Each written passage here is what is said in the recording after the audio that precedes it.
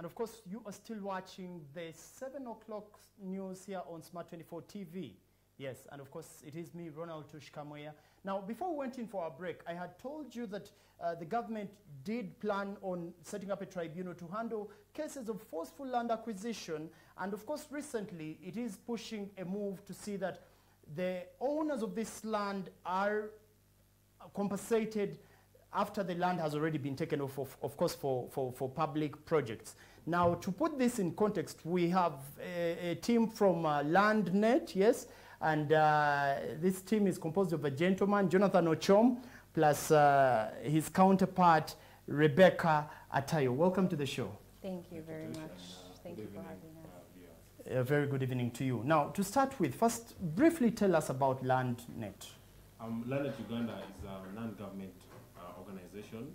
Uh, we are a network that is engaged in research and policy advocacy on issues of um, land, environment, and uh, agriculture. We exist in over 13 uh, districts in the country, but we also do uh, work at the national level. And uh, our work at the national level, part of it is um, policy advocacy, which, in, uh, which involves um, convening high-level meetings between uh, stakeholders in the land sector to discuss pertinent issues that are key uh, within the sector. Um, for example, tomorrow we'll be having the national dialogue on compulsory land acquisition. So that, that fits into our mandate of policy advocacy because this, what's going to be discussed tomorrow will inform uh, the draft law that government is coming up with. Wow, That's very, briefly yeah, about. Uh, very interesting. Thank you so much, Jonathan. Now, it is no secret that when this uh, was first heard of, the, the president himself did move around in various districts, on various media channels, specifically to, to campaign for, for, for acceptance of the public uh, in, in line with this forceful acquisition of land. Uh, what, what, is your, what is your opinion about this? Okay. Um, maybe to start, uh, Ronald, uh, a, s- a slight correction. That Maybe forceful may not be the most um, appropriate, Appropriate word word, yeah. because uh, under the law it compels compulsory land acquisition. The meaning could be the same, but uh, Well, well yes, you're right. uh, but I think contextually, yeah, the, the correct phrase could be compulsory land acquisition because that's what the law provides Right. for. Now, world over, um, the power of the state to acquire land for public use is an acceptable practice. Um, Uganda is among you know the many countries um, in the world where that power is provided for under the law. As a matter of fact, Article 26 of our Constitution, which is the primary law that provides for the right to property, gives an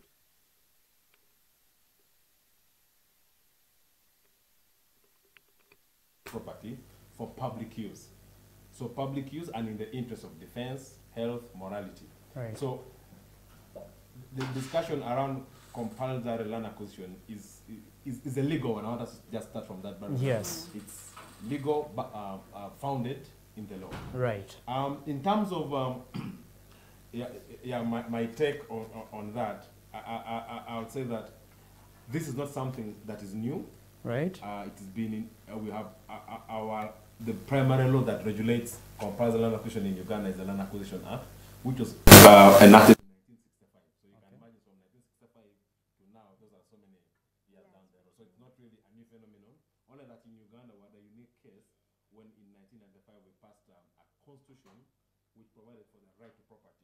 Now the issue has been how do we bring a 1965 law in conformity to the 1995 constitution because now the constitution in the hierarchy of laws is a supreme is supreme compared to other subsidi- subsidiary laws Right. so it's now the discussion now should be how do we harmonize the constitution how, how do harmonize the existing land acquisition act and bring it in conformity to the constitution of uganda? And that's what the government of uganda is now doing and, uh, and, uh, and some of the consultations are going on in the country.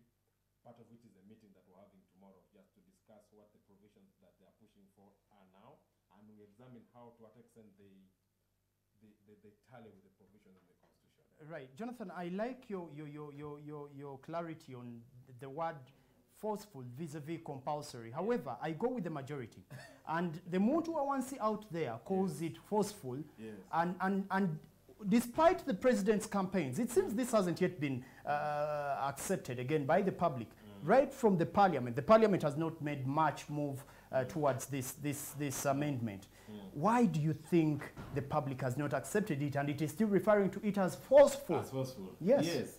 Um, to start with, Parliament rejecting the bill, as, as, as, you, as, you, as you suggest, arose from the fact that government tried to amend the constitution to sort of uh, to suggest that if government wants to take over your land for public use and then you dispute the amount that has been awarded to you by the government, the proposal by then was that government will then take over your land, then put that amount in court. The idea being that if you change your mind, you can go to court and pick that money. Right. If you want to continue to pursue government, you can go to, you can continue with your case, but as government, they will be using your property. Right. Now, that's what brought the uproar. And uh, fortunately for us, when the Legal and Parliamentary Affairs Committee sat and collected views from the different uh, stakeholders, it recommended that government actually withdraws this bill. And indeed, on that very day, when the committee was due to present its report, uh, the Deputy Attorney General actually withdrew, uh, withdrew the bill. So, but you know, land issues are really motive. Indeed. You know, you're, you're touching on the, you know, the soul of the country. Indeed. So anybody that interferes with your right to own property, especially land, you know, it's, it's an affront on your livelihood. So that's why people calling it forceful or, or having negative perception about it is understandable because nobody wants to lose their property under circumstances that are not clear on how they're going to be compensated for it. Very interesting. Uh, Rebecca, I may want to pose this question directly to you. Uh, I want to assume you're here to share with you too, right? yes. Now, I like your analysis. Quick question though. Who evaluates the land bef- uh, to, to, know, to, to know how much is supposed to be given to the landowner? And, I, and I'm saying this because it is actually a public fear out there that what if the government gets this bill passed and out of the blue we start seeing people people's land being taken? Who gets to, to judge how much what the land is? Well, um, currently in the Land Acquisition Act, it's the chief government valuer or his agent, an appointed agent who may value the land and decide what value or monetary value to attach to a particular piece of land that is going to be taken, compulsorily acquired. But then um, the owner of the land or project affected person, as, as they are known, also has the right to dispute if they are not happy with the compensation values that have been assigned to their property. Uh, first of all, they made um, their first recourse is uh, the tribunals that are no longer in place, Right. so they can go to court and, and pursue this matter. And court also gives them the option then of getting a private valuer to assess and see how much does how much do you think your land actually values according to this private valuer. And I think court then makes a comparison basi- basing on uh, both the government chief valuer and the private valuer to come to a consensus. Very interesting, Rebecca. Now, again, I have nothing against the government, mm. but I will need to ask the same questions that mm. our viewer out there would pose to ask you. Mm. Why do we have to wait for, for the courts to come into play? What if, what if the government valuer is biased? You know, what if we could have an independent player coming right from the start? Why does why does government want this to first go back to court? Uh, that's now in case of uh, valuation. But before that, you did mention that if if it is not agreed by the party being paid that the land should be taken by government, the amount of money being offered will eventually be pushed to court, and this spells out a lot of a lot of um, of, of traps for the for the for the for the citizen, for the individual. Yeah, yeah, no, no, that, that was the earlier proposal which was made, but it was withdrawn. Okay. That- so that's no longer valid. So why do you think they are retabling the, the proposal right now? No, no, no. What has changed? No, what, what has changed now, if you heard what the minister has, has you know, said at, me- at, the- at the Uganda Media Center today, was that in the new, in the draft law that they are making, they are proposing to create land, a land acquisition tribunal. Right. Mark my word, a land acquisition tribunal. Right. And that means it strictly handles issues Cases arise. cases arising out of land acquisition by government. Right. So meaning if you have a dispute with your family over a piece of land, you do not go to the land acquisition tribunal because that's not a land acquisition issue. That's a normal land dispute that goes to the uh, magistrate court, high court. Right. But this tribunal that they are now suggesting is, um, you know, will strictly be looking at issues around that that arise out of uh, land acquisition, out of land acquisition like, by, by the government. So Right. the proposal has now changed. It's no longer the, the one of depositing the money. Very interesting. but maybe Ye- yes, also Rebecca. just to supplement and say the government chief, va- the chief government valuer has a mandate as an office under the Ministry of Lands to value properties on behalf of the state in the event that um, the state is acquiring property amongst other other duties that they may have. Right. So for that reason be for that that very same reason that uh, citizens might be suspicious of uh, what can I say bias by the government Mistrust, valuer. yeah. Yes, there's Yes. mistrust and there's all this um, contention as to whether those values are are free and, and accurate. That's why they give you the leeway to approach court. Approach court and, and, and state your grievances as to why you don't think these values amount. Although also we should mention that there are valuation guidelines that were put in place I think in 20, 2017 and it has so many parameters under which they, they decide to compensate you. They compensate you first first and foremost for the value of the property on which your on which the land is is um, situ on the on, on the land itself. Then Right. any permanent property that may be there, there's um, an inconvenience uh, allowance, uh, crops. So there are so many parameters that they use to gauge eventually how much does this property cost, and and that it's more scientific than um, guesswork. It's not. It just doesn't dream up. Uh, You don't wake up and say my land is worth 500 million. Yes. Very interesting. But again, it is said that this has been happening, especially when it comes to uh, major government projects like the Entebbe Express Highway, uh, the developments in Bunyoro, Karuma, and the Simba Dam projects. It is said that owners of those lands have highly inflated their pieces of land, and in the process, it's also stalling work. Yeah. What do you think needs to be done to solve such an issue? The, the, the, the, the, the issue around um, inflated prices really speaks to probably the weaknesses within the, um, the valuation framework uh, Right. in, in the country. And, and one of the things that really, really we'll be looking to um, tomorrow when government presents a draft bill is to see how it's trying to fix the, the, the, the, the, the, the whole issue of valuation so that we arrive at figures that are mutually acceptable to, to, to, to all uh, you, know, you know, parties in this transaction. You will note that the reason some people really hike their prices is maybe they have insider information. Right. You know, it's also a fact that yeah, you know, some people maybe you know generally think this is government. Government is a good person to do business with. I can instead of selling it at 50 million, I can sell it at 100 million.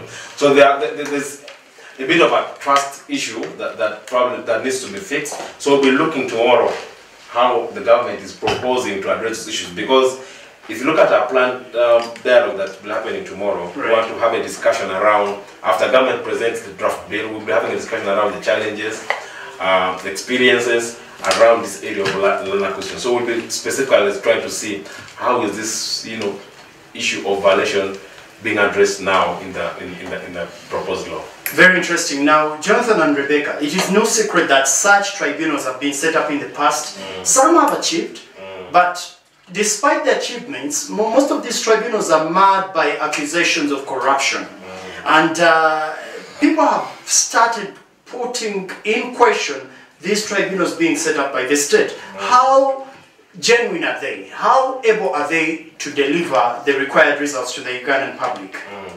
Yeah, it, it, it, it- it's interesting. So the last time we had tribunals were, they were the district tribunals. Right? that were really set up uh, by government to enable people access land justice at the at the lower level without having to go through the, the, the bureaucratic court, uh, uh, co- processes. court Right. Now this tribunal that we're proposing, I mean I personally heard about it you know today for the first time because the bill is still under key and lock in the ministry. So tomorrow they'll be unveiling it to us to, to hear what's in there. Right. Um, yeah, so setting up a land acquisition tribunal may not be the magic bullet, but I think it's a, it's a step in the right direction.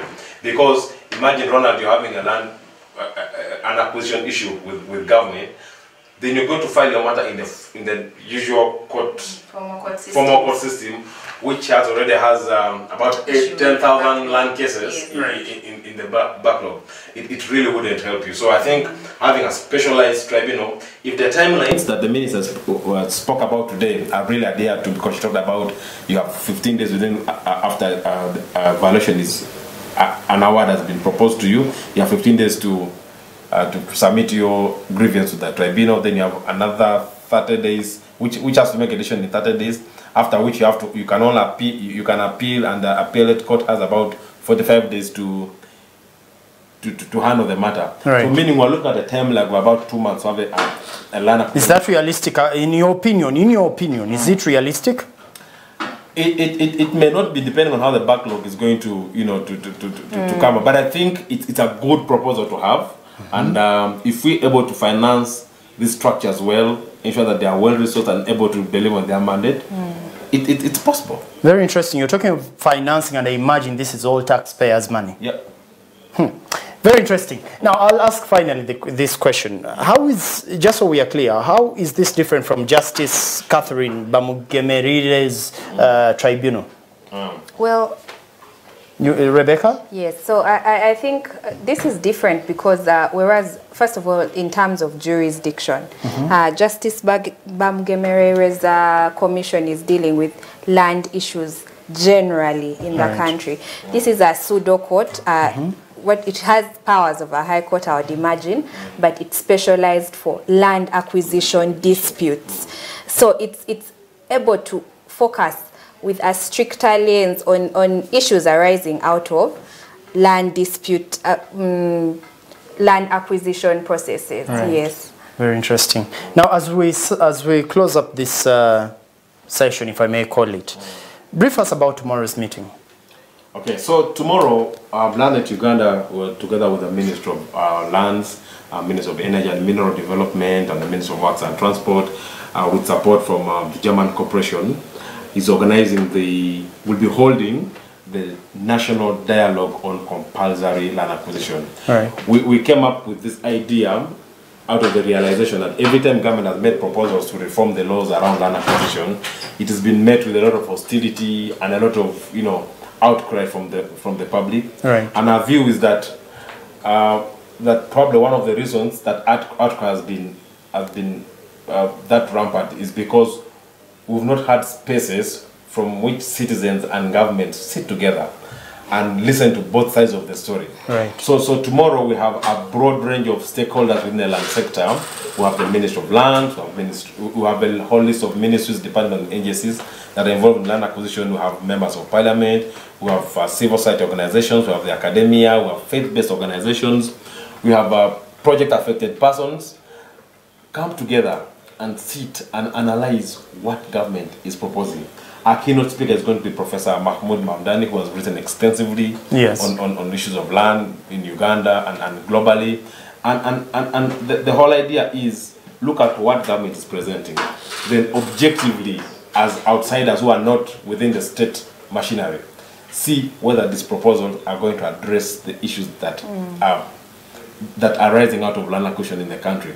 And, and if that's the case, for us as land, right, our interest is to have a good law that balances the interests of the state to develop. Because, I mean, the, the, the state has a mandate to pursue a development agenda that pushes the country to the next, you know, um, uh, Vision 2040. Vision 2040 and all these other economic aspirations. Right. But the argument is, while the state is pushing that development agenda, it should not do so at the expense of the citizens. Right. So we want to look for a law that enables the state to perform its as, uh, deliver its aspirations, but at the same time respect the rights of landowners. Ver- So the discussion tomorrow will be really, you know, and uh, us to appraise the current proposals that are in the bill and give our input, after which we'll develop a report that will hand over to government. And our hope is that that report informs, the, the, the deliberation tomorrow will inform what's eventually enter into that draft law, which law will later be submitted to cabinet for approval and later on to parliament for, yeah, for passing. Do, do you have a representative in parliament? We have MPs that, that, that have been invited. In fact, on our steering committee, we have Honorable Stephen Mukitale, one of the one of those MPs who has you know, spoken extensively about uh, land issues. Um, but we also have uh, these other colleagues from Parliament coming joining us tomorrow. So we'll be picking their minds. We've invited local governments, especially from those districts where government is acquiring land. So for example, you go to Tororo, they're doing the Standard Railway.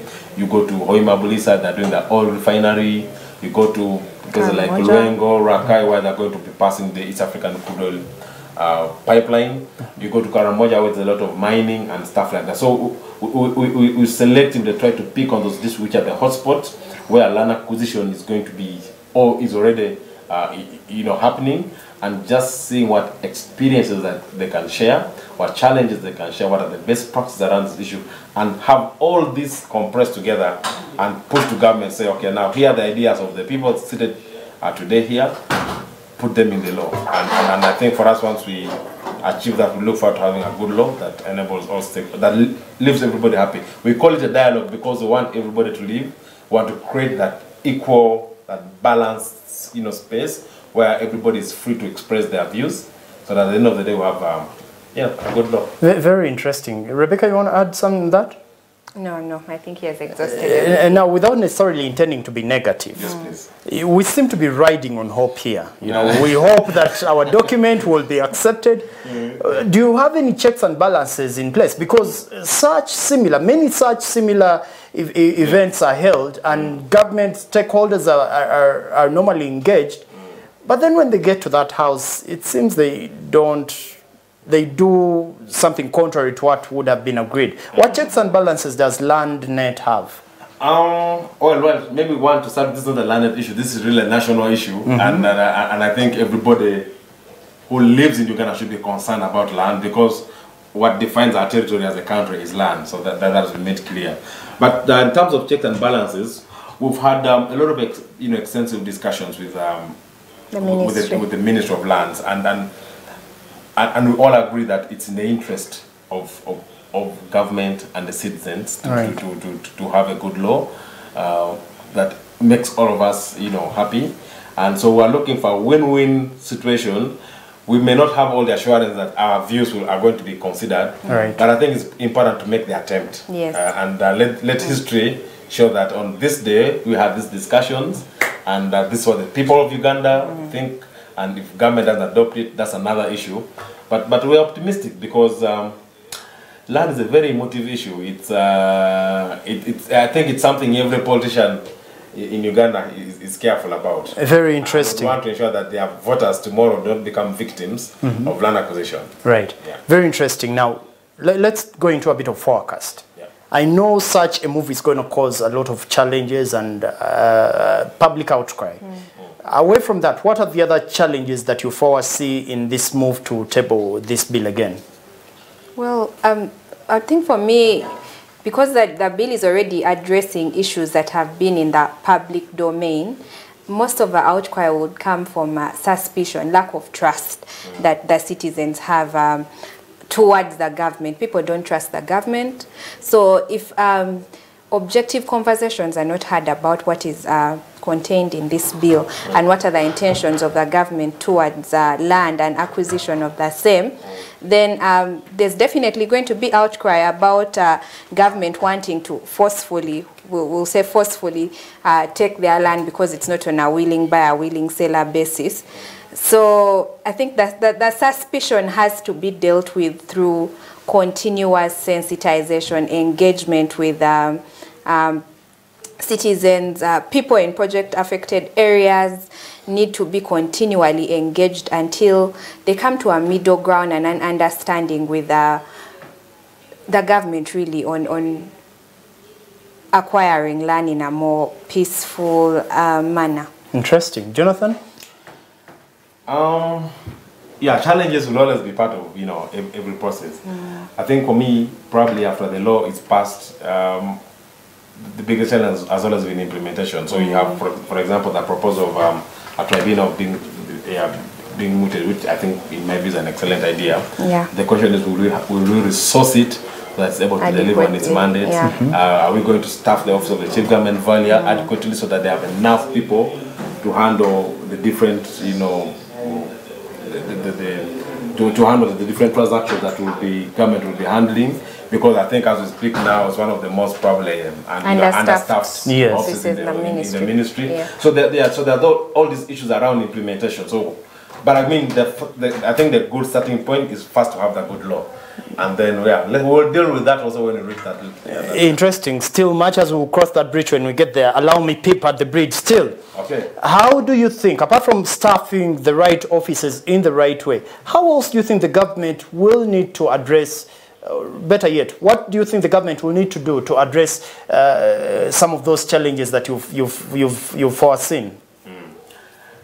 Yeah, the challenge is, I mean, it, it, it has to be, you know, deliberate action. So if you're, if, if, if, if you're going to undertake project X, for example, one of the things we've always argued is that if you're going to do a road, a road is not something you just wake up to do, you have to plan. So before you get money from a donor or from a, a banker, before you get a loan, you need to do your planning.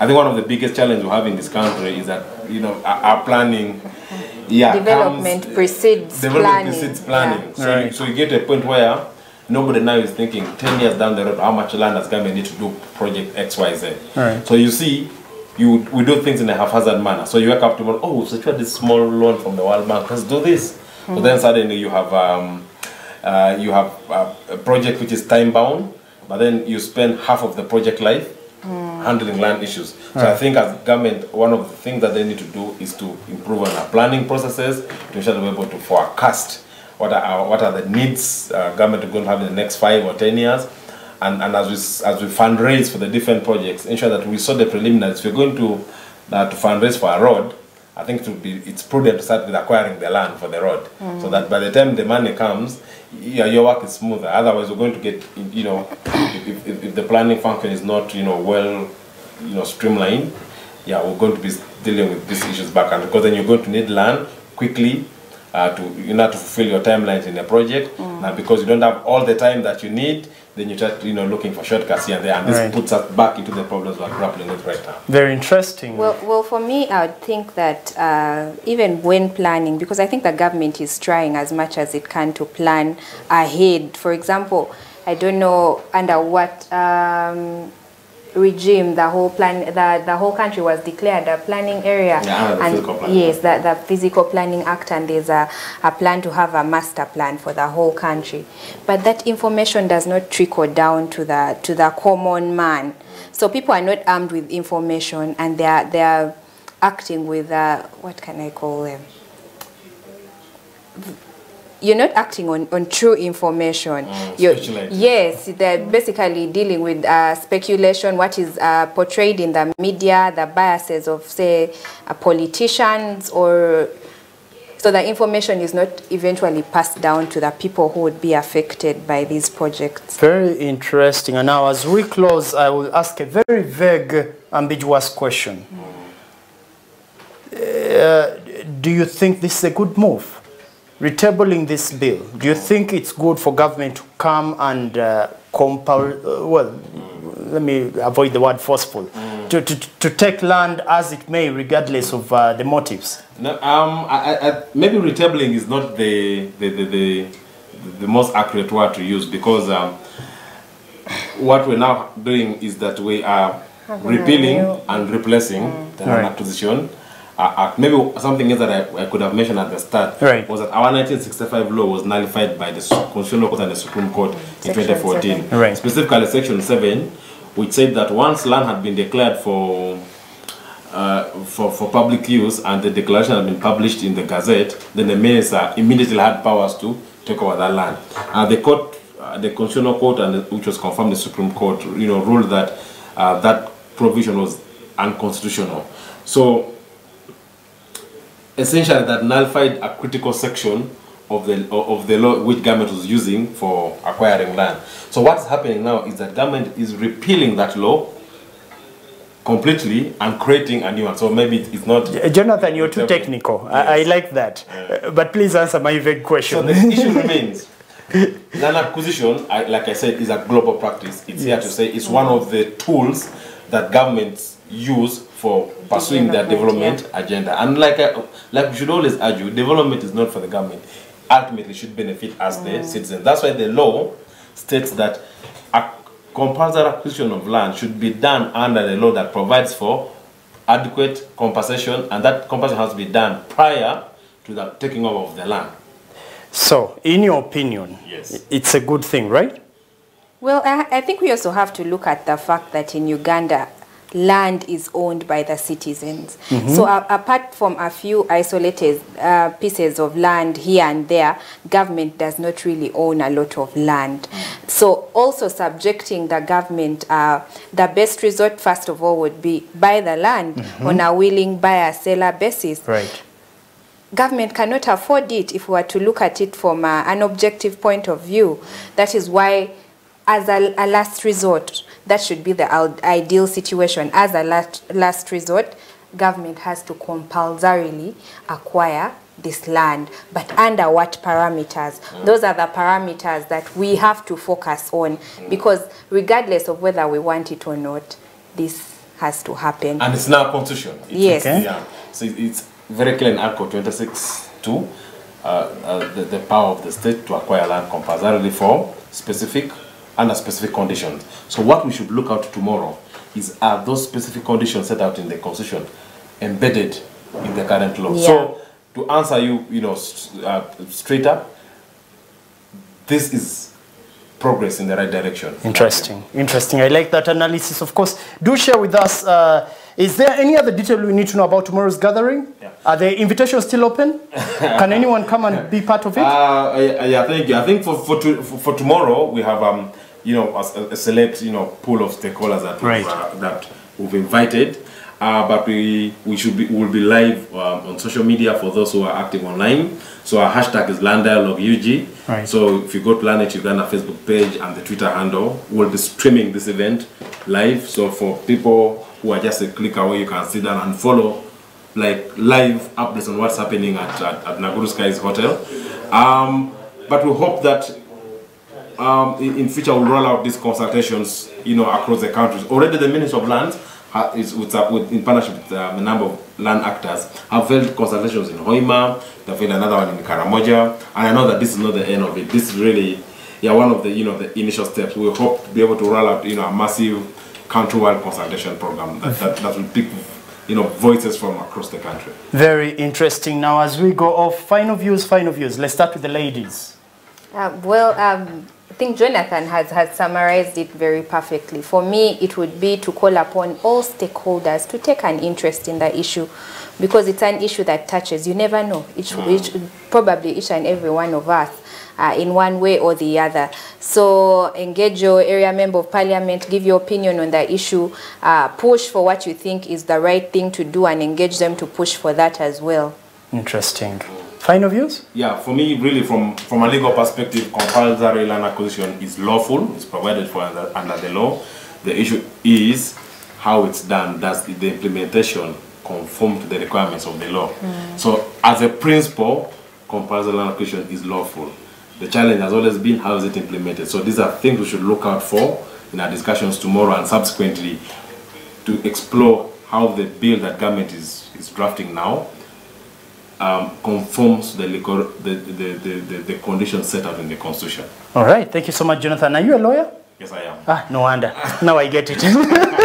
I needed to get that because you're too technical, which I like, which I like. Thank you so much, Jonathan Ochom uh, from LandNet. Now, LandNet is not land, it is Land Etaka, L-A-N-D net. Is that so? Yes. And of course, Rebecca Atayo, right?